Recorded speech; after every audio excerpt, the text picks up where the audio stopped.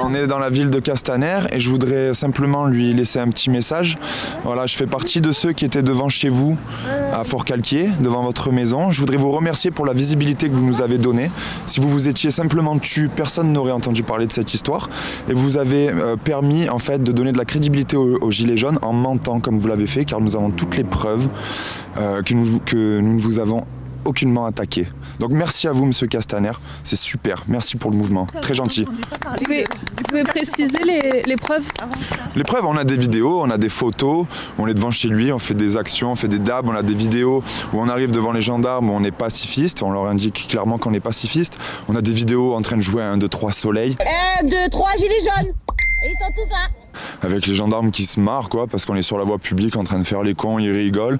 Donc en fait, on a, on a montré qu'on était pacifiste, il a montré qu'il était menteur. Je pense qu'il y a un juste équilibre des choses quoi, voilà. Merci beaucoup. Vous êtes déçu Non, pas déçu, c'est, c'est- c'est- on s'y attendait en fait. On s'y attendait, on a eu l'impact qu'on voulait et c'est grâce à lui. S'il s'il avait simplement. Euh, s'il était simplement resté silencieux, ce serait resté, ce serait resté dans l'oubli cette histoire en fait. Il nous a donné cette visibilité donc on le remercie. Concrètement, je peux pas dire mieux. Merci. 1, 2, 3 soleil. Eh, ça m'aide pas, ça m'emmerde. Il m'a poussé Ça va, ça va, ça va. On recommence On recommence.